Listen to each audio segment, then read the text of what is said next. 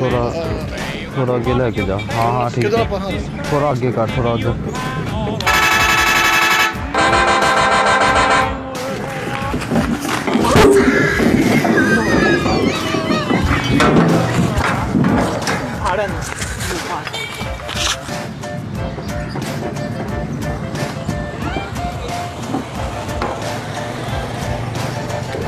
Oh,